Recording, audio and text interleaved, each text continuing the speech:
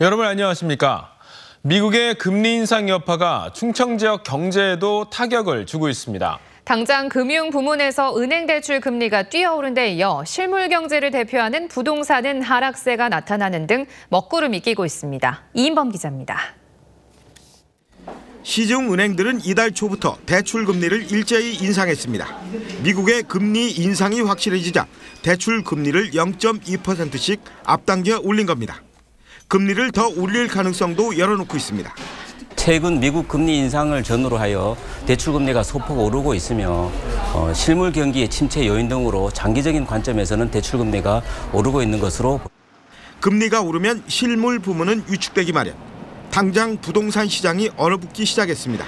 중개업소마다 아파트 등 주택 매물이 넘치기 시작했습니다. 전문가들은 내년 부동산 경기 하락을 경고하고 나섰습니다.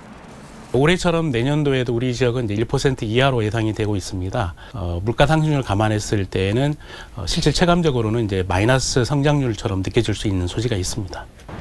부동산 시장은 금리 말고도 공급 과잉이 지표로 확인되고 있습니다.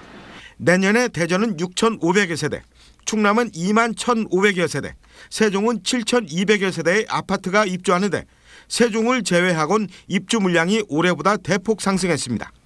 내후년 전망은 더 어둡습니다.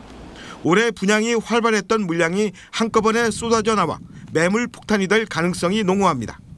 금융권에서는 정부가 가계부채 억제를 위해 내놓은 소득 중심의 대출 심사와 원리금 분할 상환 의무화 정책이 본격화되면 부동산 시장엔 한파가 닥칠 것이라고 전망하고 있습니다. TJB 이인버입니다.